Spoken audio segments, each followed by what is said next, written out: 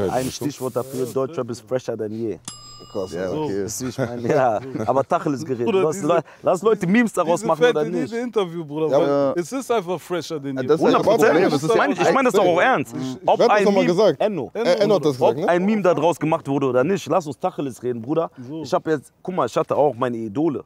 Ein Savage, ein Azad, ein Sammy, keine Ahnung, ich war acht, neun Jahre alt, ich kenne bis heute noch Texte. Ne? Wenn ich mir heute die Lieder angucke, zu diesem Zeitpunkt war cool so, ne? Aber wenn ich jetzt gucke, heute, dann war das eine billige, äh, billige Kopie von Amerika. Heute hat Deutschrap, egal ob manche Sachen von Frankreich, von England, von Amerika geklaut sind, ne?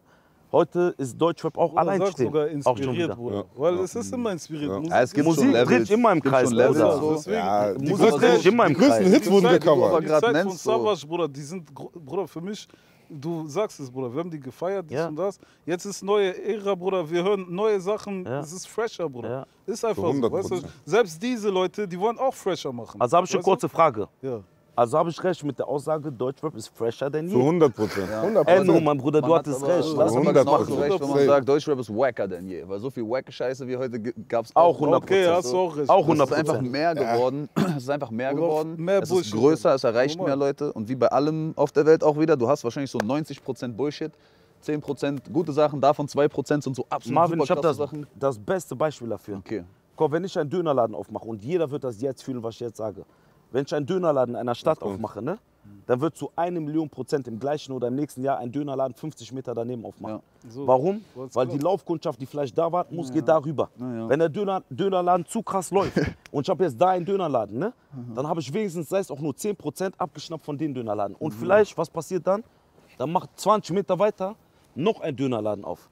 So ist das Musikgenre. Und, aber so ist das ganze Business auf der Welt. Es gibt in Antwerpen, in Holland, keinen äh, Juwelierladen, der allein steht. Antwerpen ist in Belgien. Äh, ja. äh, sorry. Wie heißt, ja. Antwerpen, ja. Ja, ist Antwerpen, Belgien. ja, Ja, Entschuldigung. Belgien. Antwerpen Ja, ist in Belgien. Antwerpen, Bruder. Mach keine dir. Kommentare. Mach bloß keine Kommentare. Der sagt Antwerpen ist Antwerpen in Holland. Das ist Belgien, Bruder. Okay, Das sagt gut. er nur, weil der in Belgien wohnt. Auf jeden Fall, Antwerpen ist in Belgien und wenn in Belgien ein Juwelierladen aufmacht, ne, da gibt es den nicht allein in der Straße, sondern eine ganze Straße sind Juwelierläden. So ist das Business, egal was du machst. Kannst- wenn ja etwas läuft, dann kommen Leute und machen das Gleiche. Genauso ist Deutschrap. Deutschrap ist fresh, ne, seit vier Jahren am Eskalieren. Das heißt, natürlich kommen andere Leute und sagen, hör mal zu, ich will das Gleiche, wie der macht.